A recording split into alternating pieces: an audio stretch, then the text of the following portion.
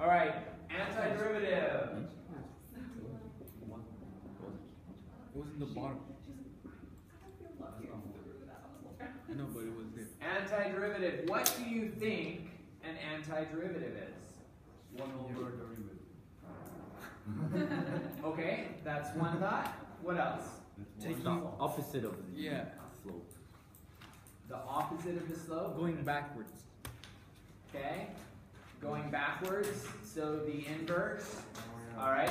Um, be careful with the one over because one over is reciprocal, right? So that would be the reciprocal, which is almost a perpendicular slope, right? The normal would be the negative reciprocal. But yes, an antiderivative is just the opposite procedure, right?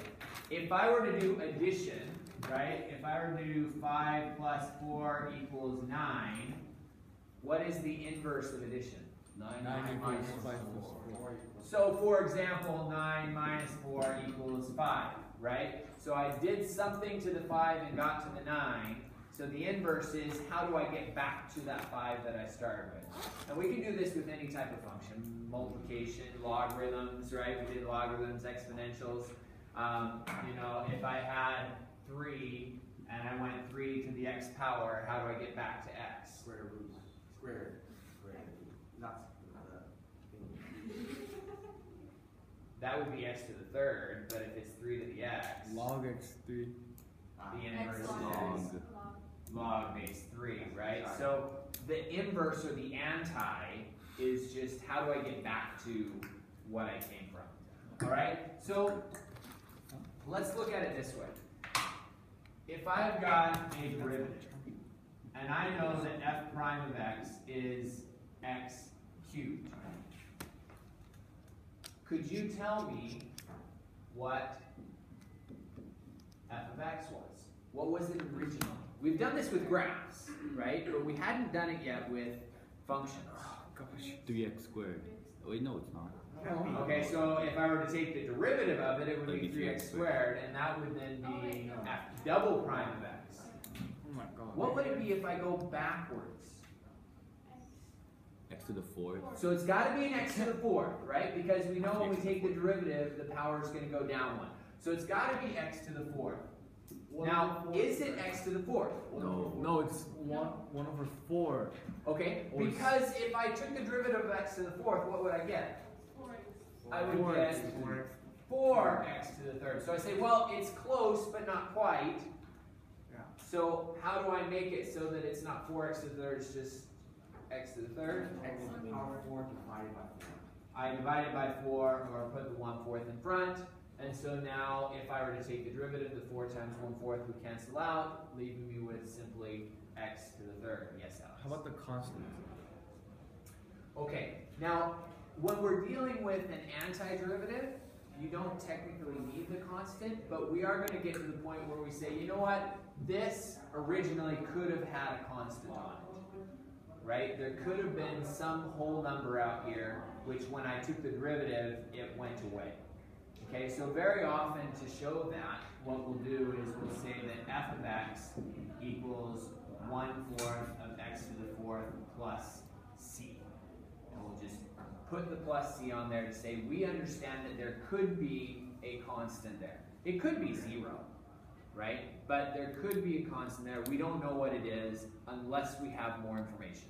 And at a later point in time, we'll look at what to do if we have a little bit more information, how to take care of that. But for now, we just want to get used to this idea of how do we go backwards, okay? How do we figure out what the original function is? Okay, so uh, let's look at another one.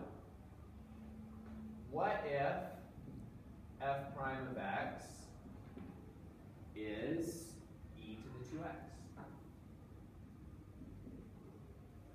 What could the original function have been? e to the 2x. No. Because you have to take a derivative of two x. Oh. That's my brain. What do you think? Where could this e to the 2x come from? Thinking back on your derivatives, what could I take a derivative of that would end up being e to some x power? e to the x. e to the x, right? The derivative of e to the x is E to the e to X. the x, right? But I don't want it to be e to the x, I want it to be e to the two x. So we'll say, all right, well, maybe it's simply e to the two x. One over two. Over two. Ah, Because if I were to take the derivative of this, what would it give me? Alan, what would I get if I took the derivative of e to the two x? Um, it would give you two e to the x.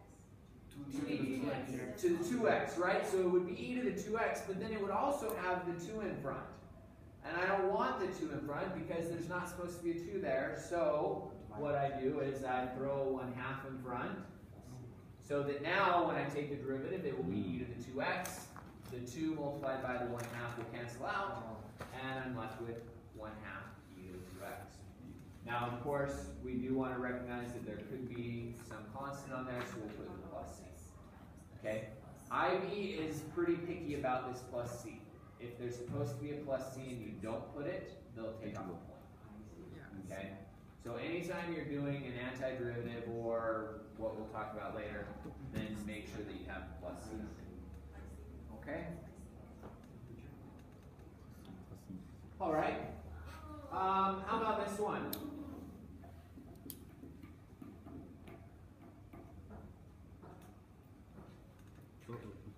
F prime of x equals 1 over the square root of x. What would the original function be? What do you probably want to do before you start doing your Re- Rewrite it to regular. negative.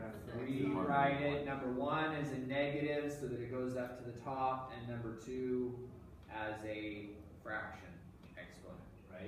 So if I rewrite this as x to the negative one half, where would it have come from? Think about this one, right?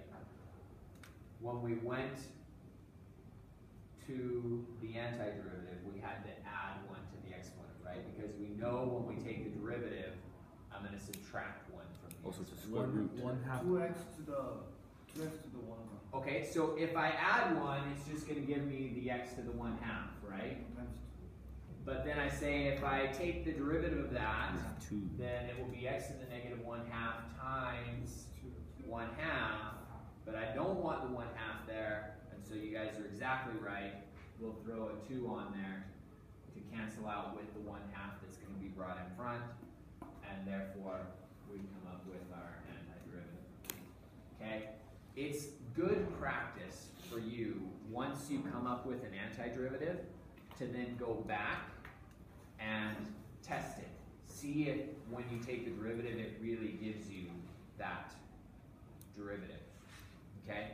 So every time we get this, we just say, okay, now let me take the derivative of this. It's not gonna take you more than thirty seconds most of the time to take a derivative, a simple derivative like this.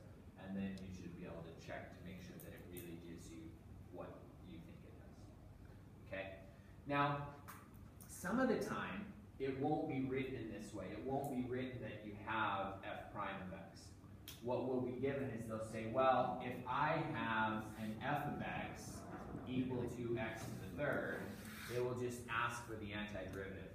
Now, because I don't, I have a symbol for the derivative, and if I if I start with the derivative and go backwards, I can take that derivative sign, sign away.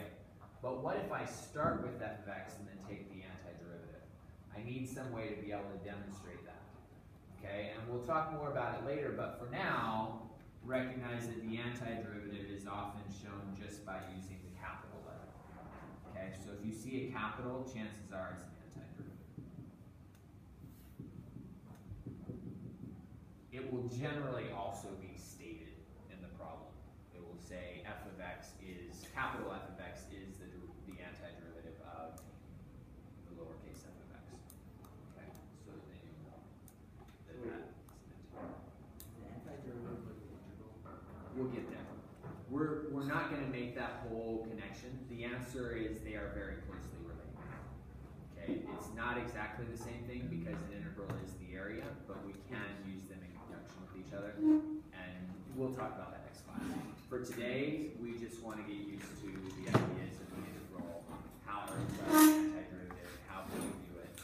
Okay, The nice thing is that with antiderivatives, we're only gonna do more or less simple right? With derivatives, you had to do some pretty complex stuff with chain rule and product rule and quotient rule. We're really gonna learn a minimum number of rules for the antiderivative. They really keep it pretty straightforward for, for us in, in SL. Okay, how about this one? Let's do another one. If f of x is equal to three cosine of x, what would the antiderivative be?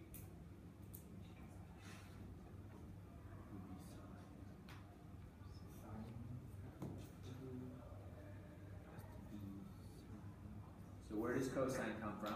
Sine. Sine. Sine, sine x to the power of 2 times 3 over 2.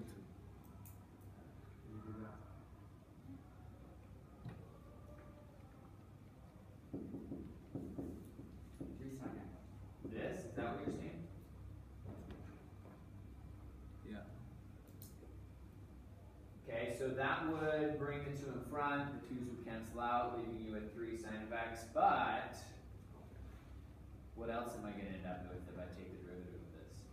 Well, because it's a it's a chain rule, so It's a chain rule, listen, I got something inside the power, so then I'm gonna have to multiply by the derivative of sine of x, which isn't gonna give me the simple. Okay, so what's another way? I think the, the problem is this three in front here, right? it's cubed. No? But, but Well, as soon as you put a power here, you're gonna have to change them. So if we can avoid adding in a power, we're gonna avoid adding in a power. Though it could technically be done. What about this?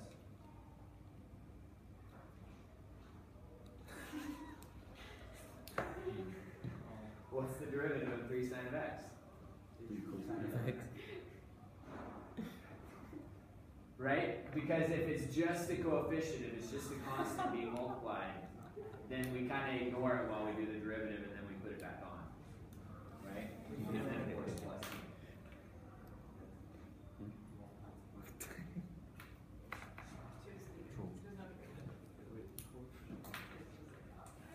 Isn't the same thing as sine x to the power three plus three? Sorry? Isn't same as No, then it goes down to power. No, Square. because see, if I had this, if I said f of x was sine of x to the third plus c, when I take the derivative of this, it's gotta be three sine of x squared Yeah. Plus times the derivative of the inside, Chain right? It's a, it's a chain rule. And so, yeah, this is not quite what it would be. So. Yeah, if I can avoid adding powers in, then I will avoid adding powers in. Because there's no powers there, no exponents, and I know that as soon as I add exponents, I'm gonna have to have a chain rule. Alright, how about this one? It can.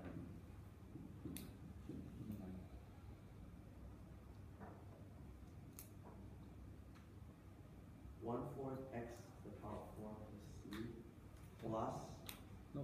What? No. What, that, that, what, that? One one fourth Fourth x To the power. to the power four plus Yeah. one third x to the power three.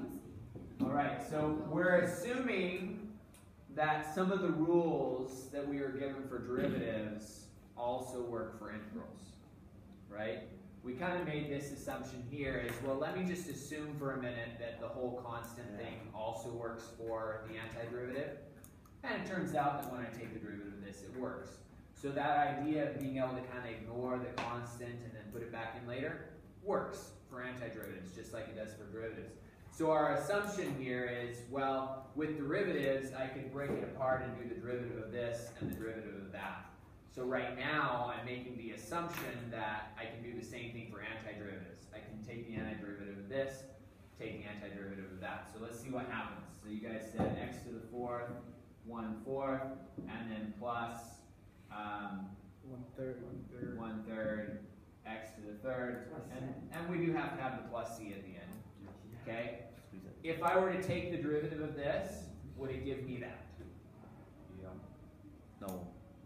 Oh yeah, it would. Bring Yeah. Four up, subtract one, would give me x to the third, bring the three in front, subtract one, x squared, take the derivative of the constant, it goes away. So apparently, the rule that allows me to take the derivative of individual terms inside of a polynomial also works for antiderivatives. Okay? Now, be careful because we will talk about the things that work for both of them. I will tell you right now, product rule does not work for antiderivatives. Right? Remember, product rule was if I have u times v, then it results in u times v prime plus v times or times u prime times v, right? Or something similar to that in a different arrangement. Okay? That means that if it looks like this, then the antiderivative would be this, which is significantly more complex, right? It's much harder to get an anti a, a, a function to look like this, so that I could then say, well, because it looks like this, that means that it was originally these two things multiplied together. You aren't really ever going to have to do something like that in a complex situation, okay? Nor product uh, quotient rule also will not work. You can't say, well, I have the quotient of this and this, let's take the antiderivative by using a quotient rule. There's no quotient rule. Okay? Uh, chain rule doesn't work for antiderivatives. So those three things that we use that kind of made it so that we could take the derivative of pretty much anything, they don't really work. Okay? That's why we're going to be doing significantly less with our, our integrals. All right? How about this one?